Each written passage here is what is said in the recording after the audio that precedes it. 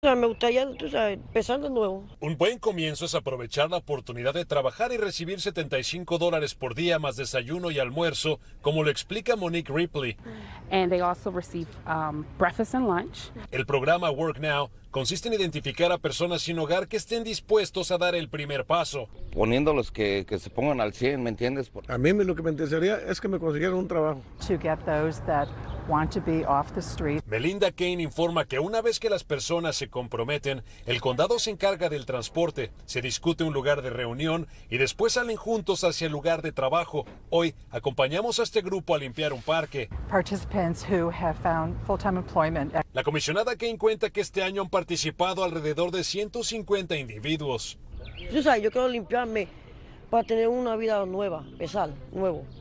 Las sustancias controladas en ocasiones son un factor que interfiere con el proceso. El condado informó a Telemundo 62 que este programa sirve como un puente para que las personas reciban tratamiento y se rehabiliten. Empecé yo a hacer droga también.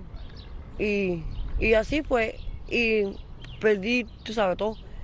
La casa, los hijos, eh, yo estoy en la calle. Una vez dentro, también son orientados sobre cómo conseguir un hogar y tramitar documentos importantes. Me robaron mis papeles y por eso tengo problemas ahorita. El grupo con el que hablamos nos dijo que sería algo que les ayudaría bastante. Pues claro, claro, y seguir trabajando, vamos todos a trabajar.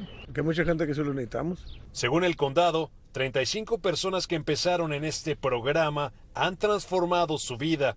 Jaime Becerril, Telemundo 62.